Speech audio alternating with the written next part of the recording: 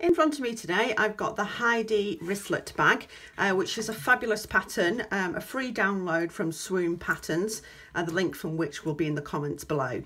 So it's really great bag, not just for Christmas when you've got the events, but also for weddings. You can completely customize it to whichever outfit you're wearing.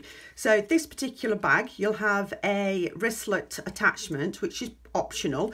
You've got two ways of creating one. You can create one as one continuous piece.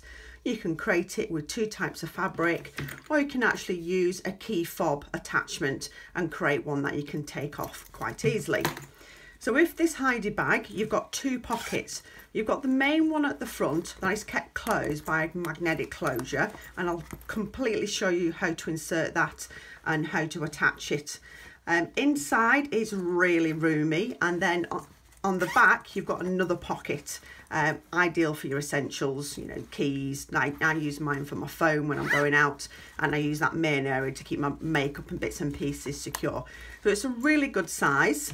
Um, again it can work in a range of fabrics. I've got these fabrics here in wool. This one's like a canvas type upholstery fabric so it makes for a bulkier heavier bag I fashioned them with an optional um, leatherette um, strip at the bottom just to have for a contrast. But again, that's optional. So the, the bag is completely customizable.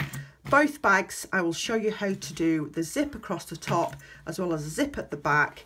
You'll also learn how to install a magnetic fastener and you'll also learn how to do a wristlet strap.